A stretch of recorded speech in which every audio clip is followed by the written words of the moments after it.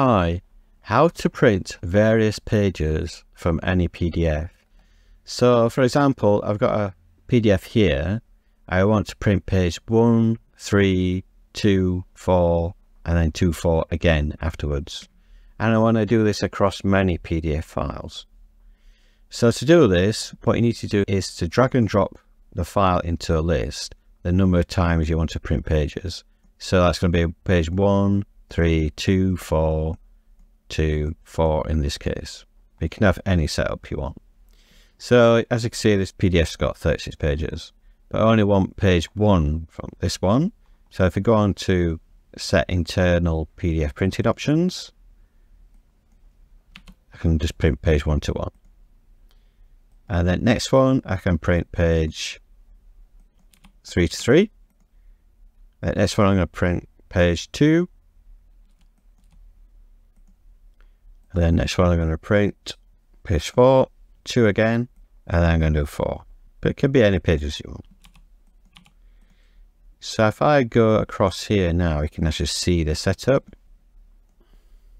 So I've got internal printing or page 1, 3, 2, 4, 2, 4. So if I just click print now, it'll print it like that as individual prints. You can see here the status of where it's printing open the printer, sort by submitted. So it's printed 132424 as I wanted on that file. But obviously that's quite difficult to set up, so I need to set that up for any PDF in a folder. So I've got a folder here, say a couple of PDFs I want to apply this to. Now I can do this with a feature called replication. So basically I need to highlight all the files. So I can click on top one and shift key and then click on the bottom one to do this. And I want to go to action menu, set file for replication. Click yes. In here now I can select my folder here on my other files. So click on PDF. Okay.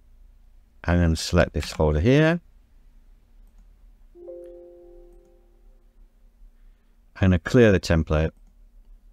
You can see I've got a couple of files in here, which has applied all these settings to. So I've got page 1, 3, 2, 4, 2, 4. And then on this file, I've got 1, 3, 2, 4, 2, 4. So when I click print, you can see it's printing those pages only for that print file. So that's how you do it across many files.